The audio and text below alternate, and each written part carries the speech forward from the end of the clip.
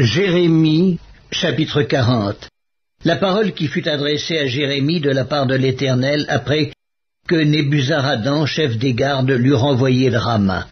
Quand il le fit chercher, Jérémie était lié de chaînes parmi tous les captifs de Jérusalem et de Juda qu'on emmenait à Babylone.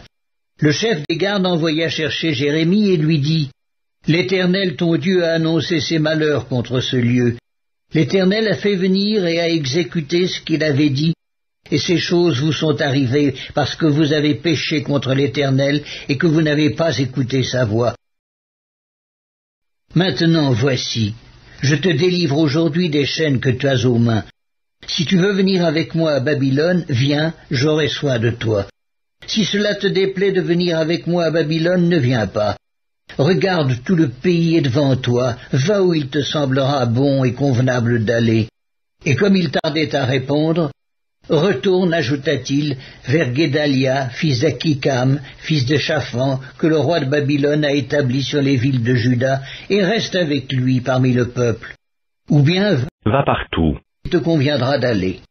Le chef des gardes lui donna des vivres et des présents et le congédia.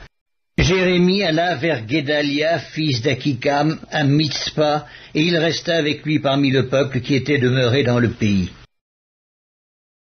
Lorsque tous les chefs des troupes qui étaient dans les campagnes eurent appris, eux et leurs hommes, que le roi de Babylone avait établi gouverneur du pays Guédalia, fils d'Akikam, et qu'il lui avait confié les hommes, les femmes, les enfants, et ceux des pauvres du pays qu'on n'avait pas emmenés captifs à Babylone, ils se rendirent auprès de Guédalia à Mitzpah, savoir Ismaël, fils de Netania, Yochanan et Jonathan, fils de Karéak, Seraya, fils de Tanhumet, les fils d'Ephaï, de Netopha et Jézania, fils du Maakatite, eux et leurs hommes.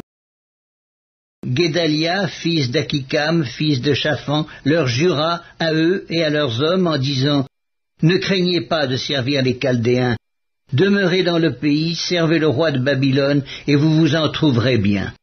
Voici, je reste à Mitzpah pour être présent devant les Chaldéens qui viendront vers nous. Et vous, faites la récolte du vin, des fruits d'été et de l'huile, mettez-les dans vos vases et demeurez dans vos villes que vous occupez. Tous les Juifs qui étaient au pays de Moab, chez les Ammonites, au pays d'Édom et dans tous les pays apprirent que le roi de Babylone avait laissé un reste dans Juda et qu'il leur avait donné pour gouverneur Guédalia, fils d'Akikam, fils de Shaphan.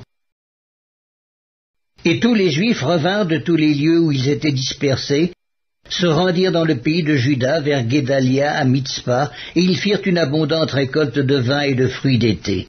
Yochanan, fils de Karéak, et tous les chefs des troupes qui étaient dans les campagnes vinrent auprès de Guédalia à Mitzpah et lui dirent Sais-tu que Baalis, roi des Ammonites, a chargé Ismaël, fils de Netania, de t'ôter la vie Mais Guédalia, fils d'Akikam, ne les crut point. Et Yochanan, fils de Karéak, dit secrètement à Guédalia, à Mitzpah, Permets que j'aille tuer Ismaël, fils de Netania. Personne ne le saura. Pourquoi t'ôterait-il la vie? Pourquoi tous ceux de Juda rassemblés auprès de toi se disperseraient-ils et le reste de Juda périrait-il? Guédalia, fils d'Akikam, répondit à Yochanan, fils de Karéak, Ne fais pas cela, car ce que tu dis sur Ismaël est faux.